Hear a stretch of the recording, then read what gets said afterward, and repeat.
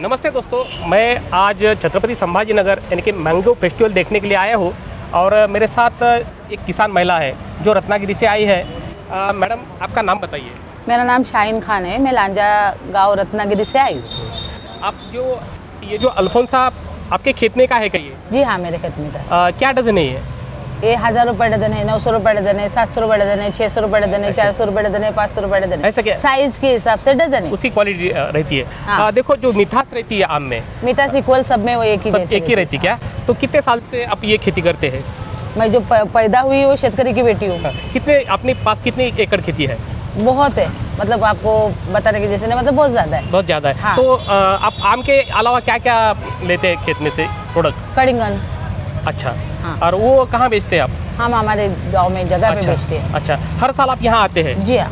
तो अ, कौन से कौन से फेस्टिवल में जाते हैं आप? ना औरंगाबाद पूना ना ये साल ना नागपुर में भी गई थी और नासिक अच्छा। में तो हम लोग तीन महीने तक वहीं पे रहते। आपको जो जो अल्फोंसा का जो आपको जो ग्राहक कस्टमर है वो कैसा है?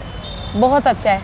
अ, कैसा रेट मिलता है छत्रपति संभाजी नगर में? संभाजी नगर में मतलब बाकी के हिसाब से पूना या नागपुर या नासिक के हिसाब में पकड़ो तो संभाजी नगर में रेट नहीं मिलता ऐसा क्या? क्या पेटी जाती है यहाँ पे? पे अभी तीन हज़ार से पेटी है। अच्छा। तीन हज़ार अट्ठाईस सौ तक हमारी पेटी अच्छा, जाती है। एक पेटी में कितना आम आता है? और एक पेटी में चार डजन पाँच डजन छः डजन सात डजन आता है। इक्वल वज़न सत्रह किलो की पेटी रहती है अच्छा। हमारी हाँ साइज़ छोटा बड़ा होने की वजह से डजन कम ज़्यादा रहता है। अच्छा एक किलो में कितना आता है ये ये वाला एक किलो में तीन एक डजन में तीन किलो आते हैं। अच्छा तीन किलो आते हैं। हाँ। अच्छा एक डजन में। एक डजन में तीन किलो ये साइज़ आती है। अच्छा, इससे छोटी साइज़ रहती है वो ढाई किलो आती। हाँ। उससे छोटी साइज़ रहती है वो दो किलो आती।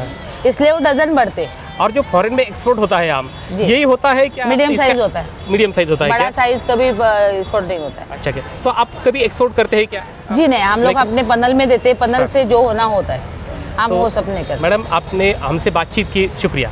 Thank you